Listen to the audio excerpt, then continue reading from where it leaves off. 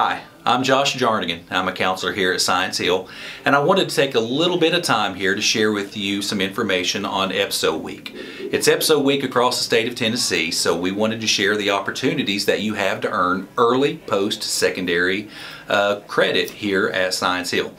Uh, first, what are EPSOs? EPSOs are early post-secondary opportunities. How can I earn college credit? How can I earn industry certifications before I even graduate?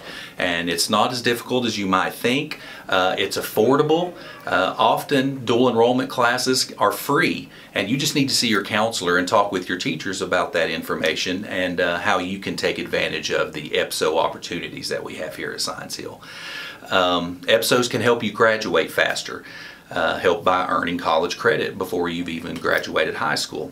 They can also help you become more, be more employable and uh, by earning those industry certifications and I think most importantly they help you in becoming more prepared for the rigors of college coursework. Uh, you're used to working on college classes before you even graduate high school which is always a positive.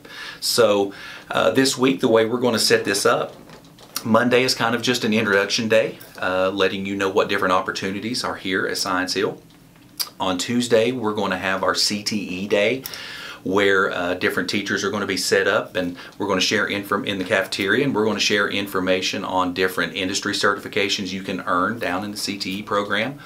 Wednesday is AP day, so we're going to have AP teachers there sharing information on how you can get signed up for AP classes and what all we offer here at Science Hill, and then Thursday's dual enrollment day. We're going to have several different colleges set up in the cafeteria, and you can talk with them about taking advantage of our dual enrollment opportunities and how that works and the enrollment process, the cost, things of that nature. And then on Friday, we'll just wrap it up. So we hope you take advantage of all the EPSO opportunities that we have here at Science Hill, and please see the counseling office if you ever have any questions.